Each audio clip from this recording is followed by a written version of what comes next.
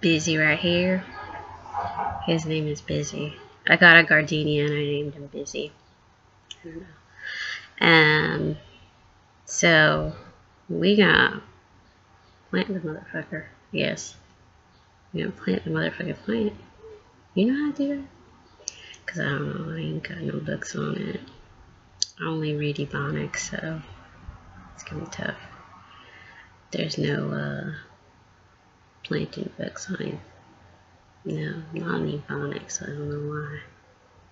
So I'm gonna get a pot. I'm gonna get some soil. I'm gonna get some motherfucking sun.